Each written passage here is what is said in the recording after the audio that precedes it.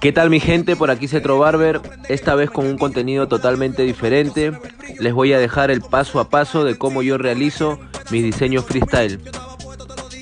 Recuerden que para realizar este tipo de trabajos se necesita de mucha paciencia y dedicación.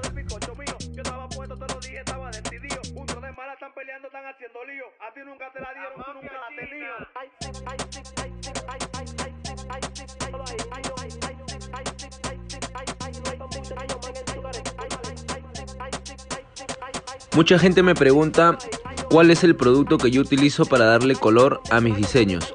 Yo utilizo el High Color de Level 3. Ahí van a observar cómo es que yo lo aplico para que los diseños queden con un mejor impacto visual. Si te gustó este contenido, déjame saber en los comentarios. Estamos activos.